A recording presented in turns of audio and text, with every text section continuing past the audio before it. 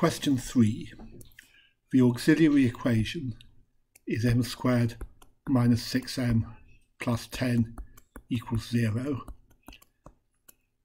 And if we complete the square, that turns into m minus 3 squared plus 1 is 0. And that means that m is equal to 3 plus or minus i. And that means the general solution is going to be y is equal to e to the 3x a cos x plus b sine x.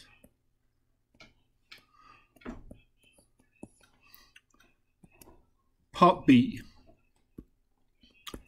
With a right-hand side of 20x minus 22, the particular solution is going to be y is px plus q, and that means that y dashed is equal to p and y double dashed is equal to 0.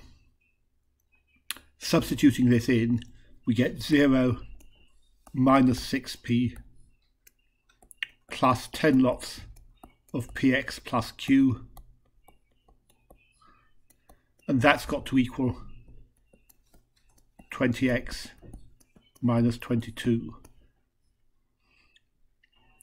The coefficient of x gives us 10p is 20 and therefore p is 2. The constant coefficient gives us minus 6p plus 10q is minus 22 and that leads us to q equals minus 1. So that's telling us that the general solution of, of the equation in part B is going to be y is e to the 3x a cos x plus b sine x plus 2x minus 1. Using the boundary condition that x is 0, y is 3, we get 3 equals 1 times a times 1 plus 0 and then another 0 and minus 1 and that reduces to a equals 4. Using the second boundary condition y is 4 e to the 3 pi over 2 plus pi minus 1 outside of the bracket is e to the 3 pi over 2.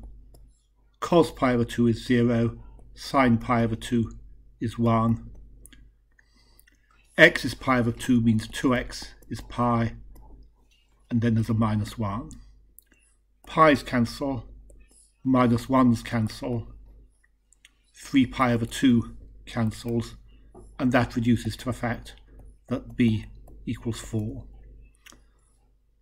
And so the particular solution is y is e to the 3x, 4 cos x plus 4 sine x